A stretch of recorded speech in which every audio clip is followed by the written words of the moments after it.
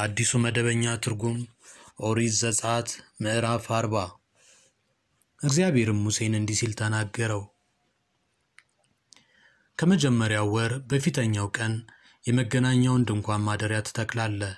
በእርሱም ውስጥ የምስክሩን ታቦት ታኖራለህ። ታቦቱንም በመጋረጃ ትጋርዳለህ። ገበታውንም አግብተህ በእርሱ ላይ የሚኖረውን ዕቃ ታሰናዳለህ። መቅረዙንም አግብተህ ቀንዲሎቹን ትለኩሳለህ። ለዕጣንም የሚሆነውን የወርቅ መሠዊያ በምስክሩ ታቦት ፊት ታኖራለህ። በማደሪያውም ደጃፍ ፊት መጋረጃውን ትጋርዳለህ። ለሚቃጠል መሥዋዕት የሚሆነውንም መሠዊያ በመገናኛው ድንኳን በማደሪያው ደጅ ፊት ታኖረዋለህ። የመታጠቢያውንም ሰንም በመገናኛው ድንኳንና በመሠዊያው መካከል አኑረህ ውሃ ትጨምርበታለህ። በዙሪያውም አደባባዩን ትተክላለህ። የአደባባዩንም ደጃፍ መጋረጃ ትዘረጋለህ። የቅብዓቱንም ዘይት ወስደህ ማደሪያውንም በእርሱም ያለውን ሁሉ ትቀባለህ። እርሱንም ዕቃውንም ሁሉ ትቀድሳለህ፣ ቅዱስም ይሆናል። ለሚቃጠል መሥዋዕት የሚሆነውንም መሠዊያ ዕቃውንም ሁሉ ትቀባለህ፣ መሠዊያውንም ትቀድሳለህ። መሠዊያውም ቅድስተ ቅዱሳን ይሆናል። የመታጠቢያውንና ሰንና መቀመጫውን ቀብተህ ትቀድሳለህ።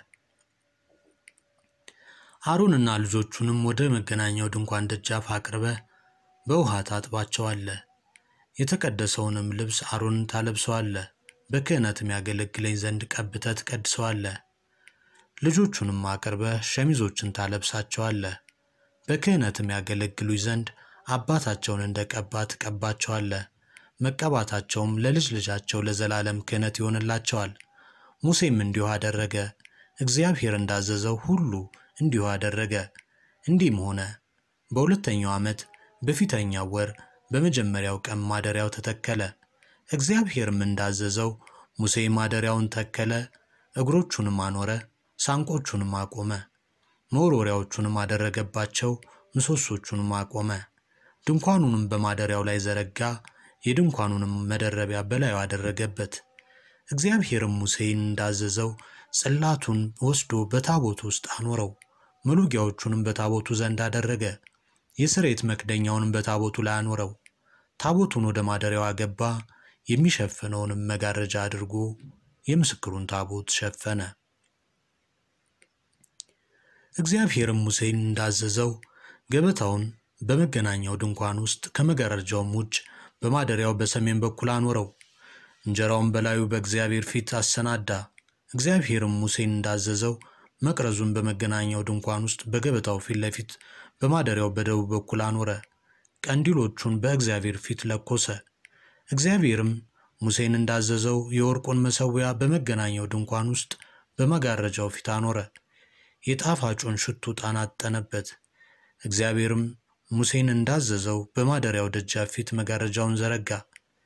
ለሚቃጠል መሥዋዕት የሚሆነውን መሠዊያ በመገናኛው ድንኳን በማደሪያው ደጅ ፊት አኖረ። የሚቃጠለውንና የእህልን መሥዋዕት ሰዋበት። እግዚአብሔርም ሙሴን እንዳዘዘው የመታጠቢያውን ሰን በመገናኛው ድንኳንና በመሠዊያው መካከል አኖረ። ለመታጠቢያም ውሃን ጨመረበት። በእርሱም ሙሴና አሮን ልጆቹም እጆቻቸውንና እግሮቻቸውን ታጠቡ። ወደ መገናኛው ድንኳን በገቡ ጊዜ ወደ መሠዊያውም በቀረቡ ጊዜ ይታጠቡ ነበር። በማደሪያውና በመሠዊያውም ዙሪያ አደባባዩን ተከለ። የአደባባዩንም ደጃፍ መጋረጃ ዘረጋ። እንዲሁም ሙሴ ሥራውን ፈጸመ። ደመናውም የመገናኛውን ድንኳን ከደነ፣ የእግዚአብሔርም ክብር ማደሪያውን ሞላ። ደመናውም በላዩ ስለነበረ የእግዚአብሔርም ክብር ማደሪያውን ስለሞላ ሙሴ ወደ መገናኛው ድንኳን ይገባ ዘንድ አልቻለም። ደመናውም ከማደሪያው በተነሳ ጊዜ የእስራኤል ልጆች በመንገዳቸው ሁሉ ይጓዙ ነበር። ደመናው ባይነሳ እስከሚነሳበት ቀን ድረስ አይጓዙም ነበር። በመንገዳቸውም ሁሉ በእስራኤል ቤት ሁሉ ፊት የእግዚአብሔር ደመና በማደሪያው ላይ በቀን ነበረና እሳትም በሌሊት በዚያ ላይ ነበረና